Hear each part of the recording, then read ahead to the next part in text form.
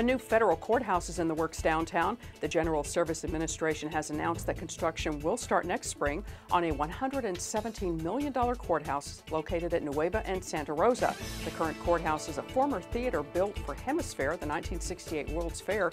It's had a long history of problems ranging from foundation issues to flea infestations. Fans can forget having a Major League Soccer team in San Antonio anytime soon. The Austin City Council yesterday approved a new MLS team there, and that nixes any chance of a franchise wanting to relocate here. County Judge Nelson Wolff says San Antonio should explore a franchise in the Mexican Football Federation. Help is on the way for those who commute along the north side of Loop 1604. The Bexar County Metropolitan Planning Organization is moving forward with a plan to construct a long-awaited expansion, and they want to do it without toll roads. MPO is asking TxDOT to fund the $500 million needed to add two new lanes between Bandera and I-35.